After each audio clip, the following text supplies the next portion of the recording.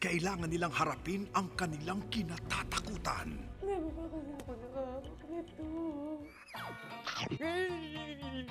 Bakit karnang itsura? Dapat yung medyo cute.